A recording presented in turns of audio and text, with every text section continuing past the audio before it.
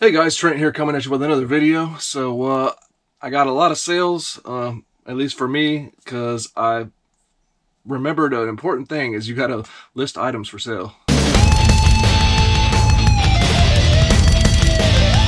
So if you're new to my channel, welcome in. My name is Trent. I'm a part-time reseller on eBay. I do it for fun and profit and take you along for the journey. So please hit that subscribe button for more great videos in the future yeah, really with eBay, I've been on kind of like a bit of a hiatus because I got so busy with stuff and I said I was going to get back strong with it and I didn't. And I finally did. Uh, this past weekend, I started, I said, let me get into these shelves of stuff that I have this potential inventory and start looking at it. And uh, I started listing up, not a ton of stuff, but maybe like 15 items, something like that. And uh, man, wouldn't you know it, my sales just picked up like that.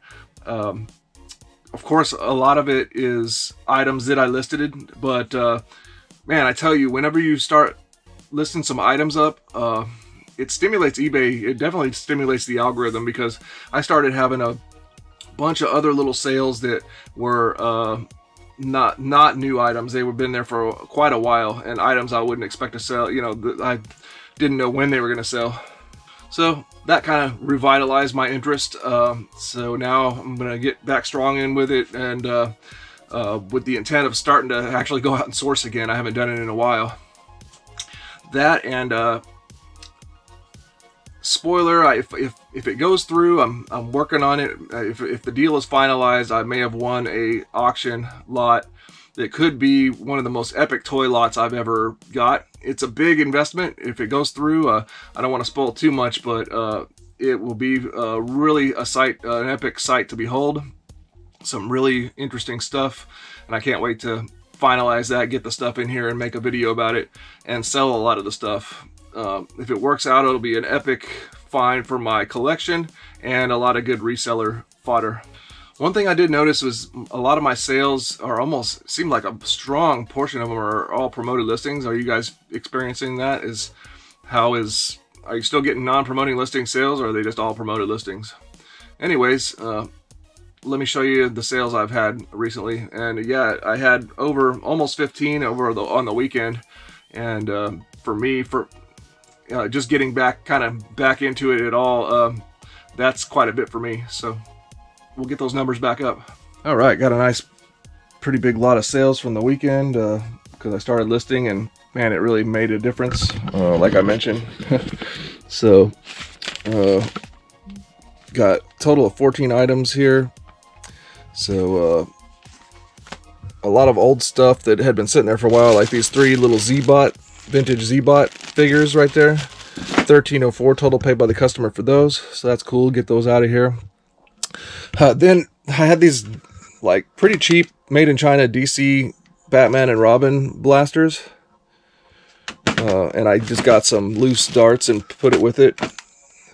Those came in, you know, when I bought like a, a bag of Nerf guns and those happened to be in there. I put those for sale and they finally sold. That's another one. 1286 total pay by the customer, so that's pretty neat. Uh, tested out this GameCube, cleaned it up, sold that one. Um, 68.96 total pay by the customer. I've still got a couple Game Cubes for, for my you know my own personal collection. Uh, this game found some good board games at uh, Goodwill not too long a while back here. Uh, Imagine the visual charades game.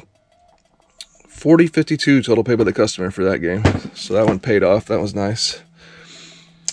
Oh, okay. Uh, this has been sitting here forever, and I finally, you know, I used to not really value Rock Band. I used to not think it would sell very well. I guess they they've went up in price. This is the uh, Xbox 360 Fender Stratocaster for Rock Band with the strap and the battery cover. Uh, that one, 7601 total paid by the customer. And then uh, of an old PlayStation 2 Guitar Hero guitar, it was not good shape, so I took the neck off and put it for sale. And that neck, guitar neck there sold. Uh, that one was uh, 1877 total paid by the customer.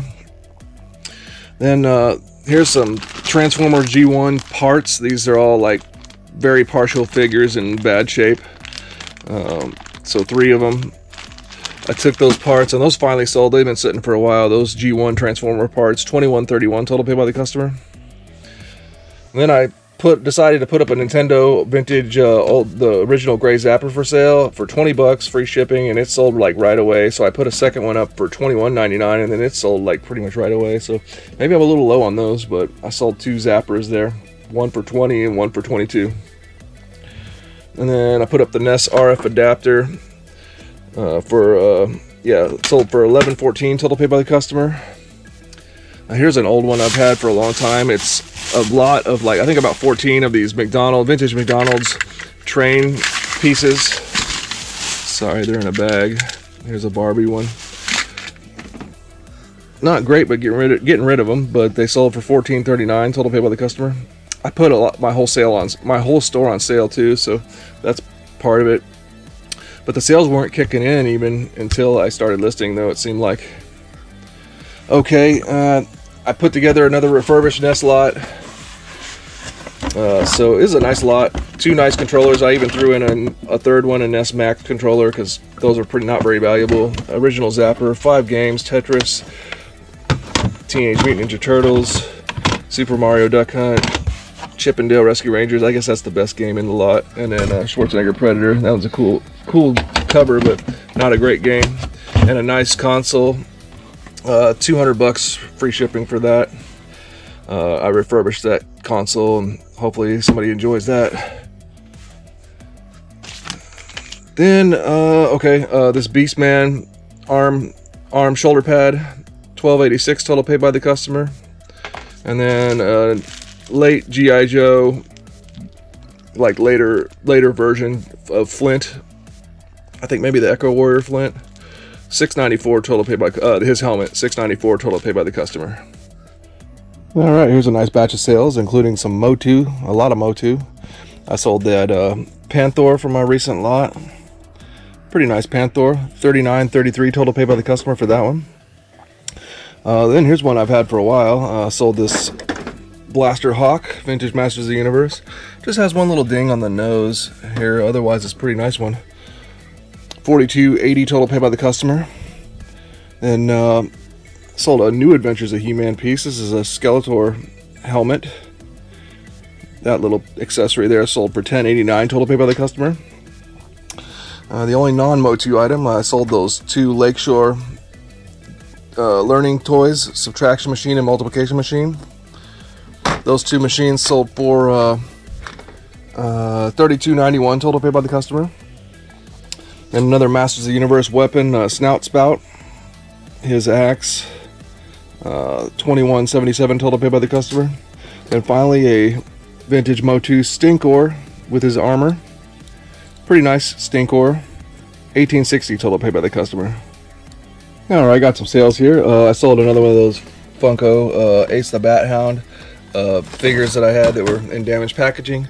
That one sold for 1855 total paid by the customer. Then I sold this, uh, I forgot what figure it goes to. These are vintage X-Men accessories that go to a Marvel X-Men figure. Uh, 9.59 total paid by the customer. Then I sold this little micro figure. This is from a company called Arco. They make some obscure toys. Uh, these are a little fantasy sword and sorcery figure right there. That sold for uh, 13.05 total paid by the customer. And finally, from my old refrigerator, I had taken all the bins and put them up for sale. And this is the last one to sell, the dairy bin from a long time ago. Um, that one sold for 25.71 total paid by the customer. All right, here's a little Goodwill auction I won. Um, paid about 30 bucks for it. It has a vintage 1986 GI Joe bazooka floating bath toy soap dish. Uh, the He-Man ones, the Masters of the Universe ones of these are, can sell for good money. This one doesn't sell for as much, but I'm hoping to sell it for maybe like 30, 40 bucks and make some of my money back. And then it had this vintage Imperial two-headed dragon in there. So I thought that was really cool. So I can acquire that for my collection, basically. Pretty neat piece. So that's what I'll do. I'll sell this and then keep this. It's just kind of a neat little beast.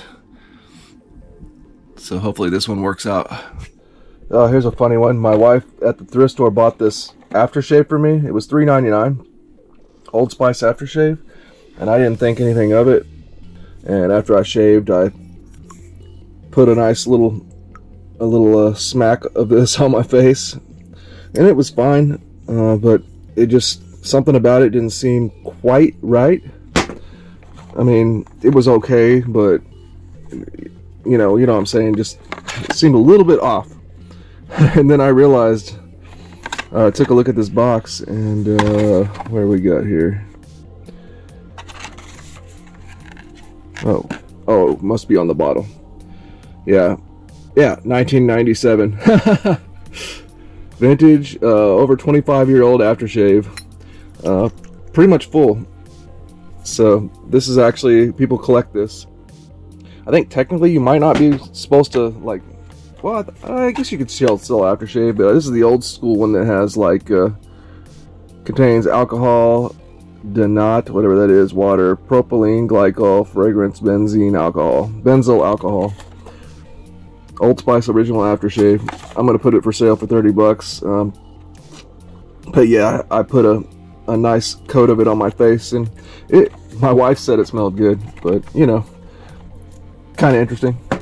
All right, here's a few sales. Uh, I sold uh, these old Space 1999 VHS um, sealed cassette tapes, VHS tapes.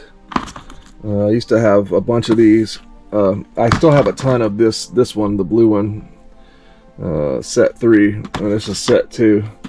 Uh, old Amazon seller, I bought their inventory many years ago. Uh, this stuff finally sold. 1523, oh no, 1616 total paid by the customer.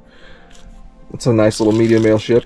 Um, then we got, uh, I sold a multi-lot of uh, some just average condition vehicles, two vehicles and three figures.